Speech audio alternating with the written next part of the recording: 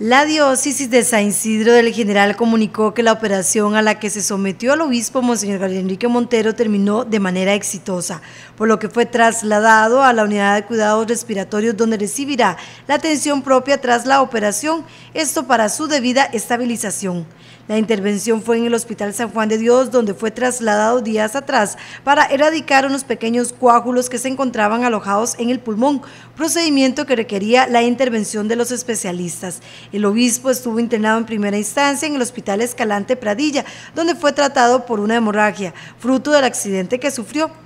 El hecho se registró el domingo 12 de enero de este año mientras realizaba un viaje de acción pastoral tras entregar la parroquia Inmaculada Concepción de Boruca a la altura de la Cuesta López en Buenos Aires de Punta Arenas, donde el vehículo que conducía se salió de la vía pública y sufrió heridas importantes en tres costillas.